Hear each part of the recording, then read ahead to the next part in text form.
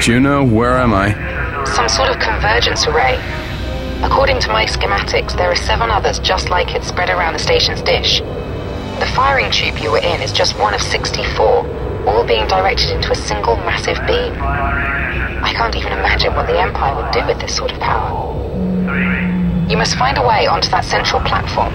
The Emperor's observation dome is just beyond it. The schematics show a series of graviton beams in that chamber. Find a way to activate them?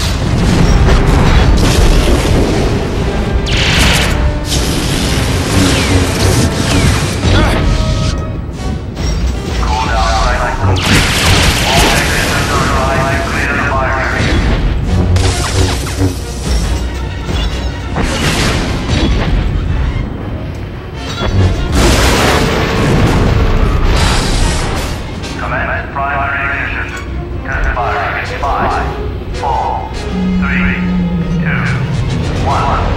Fire.